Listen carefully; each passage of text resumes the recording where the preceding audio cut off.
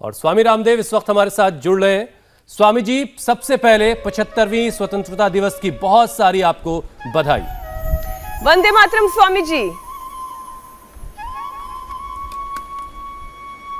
वंदे मातरम हुसैन भाई आपको भी मीनाक्षी बहन आपको भी और मेरे साथ सभी एक साथ हाथ उठा करके बोलेंगे भारत माता की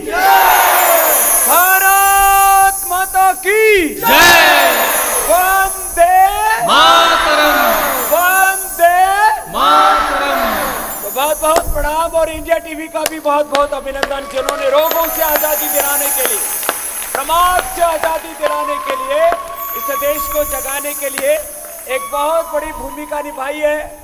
और उसी भूमिका में आज भी हम हर दिन तो आठ बजे होते थे, लेकिन आज हम जल्दी जा इस पर सम्मिलित हो गए क्योंकि आठ बजे दूसरे कार्यक्रम होंगे और हमने नियम ले रखा है।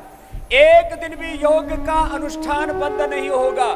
योग हमारी रोज की दिनचर्या का हिस्सा है और योग से जहाँ एक तरफ़ रोगों से आज़ादी मिलेगी, एक तरफ़ हमारे भीतर योग शक्ति से प्रभु भक्ति जागती है, वही राष्ट्र भक्ति भी तो जागती है। तो आज का भी ये जागरण योग के साथ। और जब योग शक्ति जन जन में जगेगी तो राष्ट्र भक्ति तो सहज जगे ही जगेगी। और इधर हमारी मीनाक्षी बहन भी पक्की योगिनी हो गई है। योगिक जोगिंग के बारह अभ्यास, सूर्य नमस्कार के बारह अभ्यास, दंड बैठक लगा के पूरा तैयार करते हैं। सबको और एक तरफ़ योग, दूसरी तरफ़ संगीत भी। पूरा।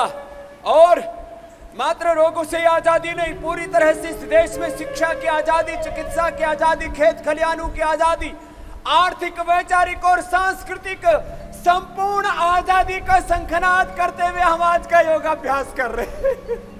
तो ये ये संकल्प है संपूर्ण आज़ादी का।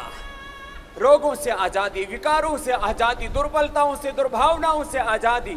जितने भी विकारी भाव हैं, हिंसा है, झूठ है, बेईमानी है, अन्याय है, शोषण है, भूख है, गरीबी है, शोषण है, और सबसे आज़ादी के लिए व्यक्ति को स्वयं तैयार होना पड़ता है। और वो तैयारी हमारे साथ यहाँ चल रही है। मेरे साथ यहाँ गुरुकुल के छोटे छोटे बालक हैं, आचार्य कुलम के बालक हैं, युवतियाँ हैं युवक सब और स्वामी जी, इधर हम टीवी स्क्रीन पर एक और तस्वीर दिखा तो रहे हैं। आप ज़रूर देख पा रहे होंगे। ये बिल्कुल ताज़ा तस्वीरें इस वक्त हम दिखा रहे हैं।